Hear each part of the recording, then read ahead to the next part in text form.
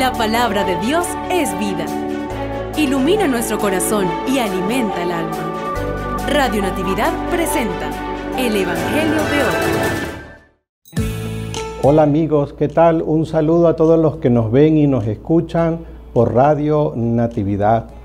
Hoy, martes 24, compartimos el Evangelio de San Mateo, capítulo 12, versículo 46 al 50. En este Evangelio llegan su madre y unos familiares a preguntar por Jesús y le dicen, Jesús, tu madre y tus hermanos, tus familias te buscan. Y Jesús responde, ¿quiénes son mi madre y mis hermanos? Aquellos que escuchan la palabra de Dios y la ponen en práctica. Es muy consolador para cada uno de nosotros saber que lo que nos hace familias de Jesús es la fe que obedece, es la escucha que obedece la palabra de Dios.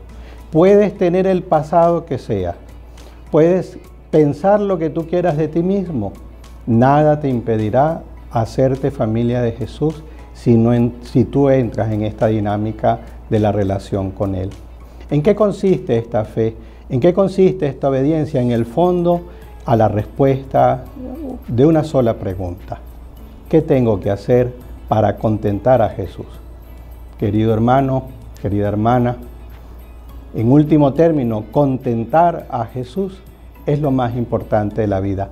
Todo lo que no sea contentar a Jesús termina siendo vivir una vida en la ficción, termina siendo vivir una vida en la nada, en el vacío. Por eso hoy Jesús te dice, puedes tú también ser de los más allegados de Jesús, de los amigos fuertes de Jesús, solamente abriéndote a escuchar su palabra y a compartir y desear contentar en todo al gran eh, Señor de la gloria, a nuestro Salvador. Que el Señor te bendiga en el nombre del Padre, del Hijo y del Espíritu Santo.